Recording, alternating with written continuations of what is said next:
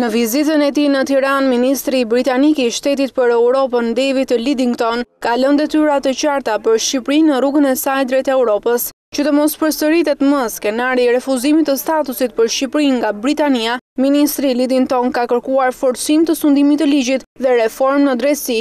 Qëndrimin ministri britanik e shprehu gjatë takimit me kreun e Kuvendit, Ilir Meta. Siç njofton zyra për shtyp e Kuvendit, ministri Lidington shprehu angazhimin e qeverisë britanike për perspektivën europiane të Shqipërisë dhe nënvizoi se forcimi i ligjit dhe reforma në drejtësi do të jenë kyçe në këtë drejtim. Lidington vuri në dukje gjithashtu se Mbretëria e Bashkuar mbetet e përkushtuar ndaj Shqipërisë dhe rajonit e në këtë kontekst është e gatshme të zgjerojë mbështetjen e saj në avancimin e reformave prioritare të Shqipërisë. Kryetari i Kuvendit Meta dhe ministri i Shtetit Lidington ndanë bindjen e përbashkët se forcimi i dialogut politik dhe gjithëpërfshirja mbeten shumë të rëndësishme në progresin e reformave. Në ditën e dytë të qëndrimit në Tiranë, David Lidington zhvilloi një takim edhe me kryeministrin Edi Rama, Siç njofton zyra e shtypit në Kryeministri, në fokus të takimit ishte perspektiva europiane e Shqipërisë. Kryeministri e njohu ministrin Lidington me reformat e ndërmarra, duke theksuar se pavarësisht se Shqipëria nuk mori statusin e vendit kandidat në muajin dhjetor,